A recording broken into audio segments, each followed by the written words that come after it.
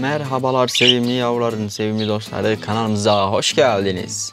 Arkadaşlar bugünkü videomda sizlerle yavru alınmamış çiftten yavru nasıl alırız adlı bir video çekeceğiz. Arkadaşlar öncelikle videoya geçmeden önce videomuza like ve sorularınız varsa yorum kısmında ve arkadaşlar kanalımıza yeni gelen kullanıcılar için abone olmasın lütfen abone olup bildirimleri açmayı unutmayın. Arkadaşlar şimdi videoya geçelim hadi. Evet arkadaşlar şimdi önceliğimiz kuşlarımızdan nasıl yavru alabiliriz? Yani yavru almamış çiftlerden nasıl yavru alabiliriz? Bu çiftleri hatırlayanlar vardır. Şimdi arkadaşlar önceliğimiz şu şekilde kafes düzeni çok iyi olması lazım. Size hemen kafes düzeni anlatayım. Kafes düzeni nasıl olacak? Arkadaşlar bir adet tünek yani tahta tünek ve tüneğin sallanmaması gereklidir arkadaşlar. Ve arkadaşlar yuvalımız yuvalımızın içerisinde folluklu olması gerekli arkadaşlar. Folluksuz da kullanabilirsiniz. Fakat folluklu daha kullanışlı. Çünkü ileride yavrularınız falan olduğu zaman değişimler falan çok kolay oluyor arkadaşlar. Arkadaşlar şimdi ve zaten yine her zamanki gibi yemler fakat yemlerin içine Nijer tohumda karıştırabilirsiniz arkadaşlar. Kızışması için. Arkadaşlar günlük olarak mama takviyesi yapın kuşlarınıza. Bu çifti hatırlayanlar var mı? Arkadaşlar şu şekilde size söyleyeyim. Biri ömür, bir de yani denizin eşi diyelim. Arkadaşlar bunları birlikte eşe aldım. Bakalım ilerideki videolarımıza nasıl bir sonuç alacağız. Arkadaşlar şimdi kafes düzenimizi çok çok iyi yapmamız lazım. Ve kafesimizi kesinlikle arkadaşlar sabit durması gerekli arkadaşlar. Yani sallanmaması gerekli arkadaşlar. Ve yuvalı çok fazla açıp açıp rahatsız etmemek lazım arkadaşlar. Arkadaşlar bir de kuşlarımız şu an yani eşya bir saat olmuyor bile yarım saat oluyor arkadaşlar. Yarım saatte kuşlarımız daha hala kafese alışmadı arkadaşlar. Kafese alışması lazım biraz. Yani bu bir hafta sürebilir, birkaç gün sürebilir. Bunun için arkadaşlar biraz beklemek ve sabretmek lazım arkadaşlar. Şimdi arkadaşlar mamamızı eğer mama yapmayı bilmiyorsanız bizim mama videosu var. Sağ üst köşede linki çıkacaktır. Hemen ona tıklamanız yeterli olacaktır. Arkadaşlar şimdi sizlere şunlardan da bir bahsedeyim. Arkadaşlar kuşlarınıza yeni çift, abi yavru almamış çiftlerden söyleyeyim. Yani yavru al, alınacak çiftlerden söyleyeyim arkadaşlar. Arkadaşlar kuşlarımıza yani 2 günde 3 günde bir yeşil nane vermemiz gereklidir arkadaşlar. Çünkü yeşil nanenin kızgınlaştırıcı özelliği vardır. Arkadaşlar mamayı kesinlikle eksik etmiyoruz kuşlarımızın önünden. Ben daha kafesi daha yeni kurdum ve kuşları yerine koydum. Hatta daha suluklarını bile takmadım o derece. Arkadaşlar yani dedim bir video çekeyim ondan sonra suluklarını ve kafes düzenini tekrardan yapacağım. Mamasını yapacağım.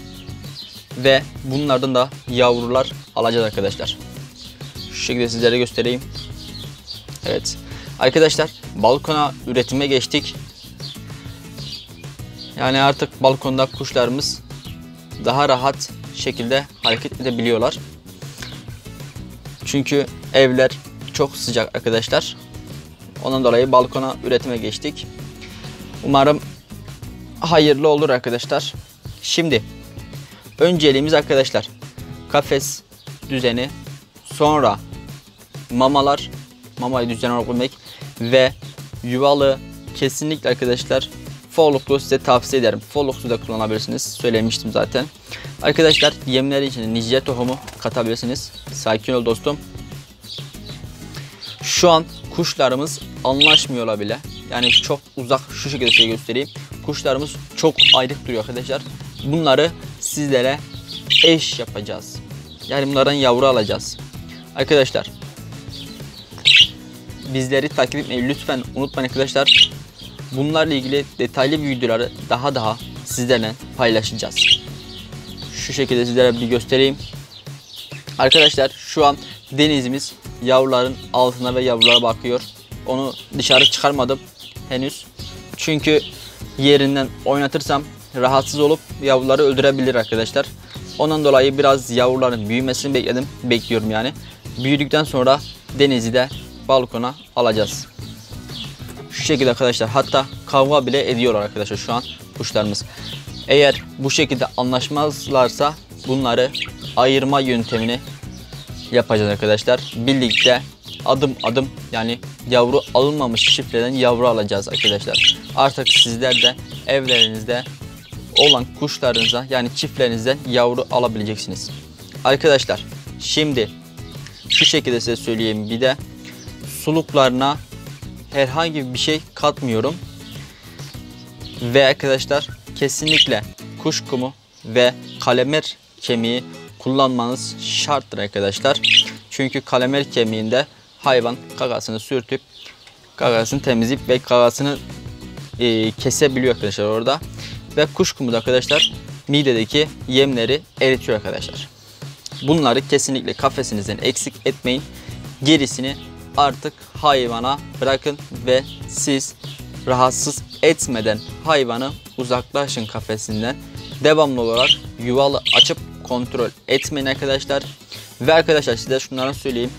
Yaz aylarında olduğumuz için lütfen günlük sularını değiştirin.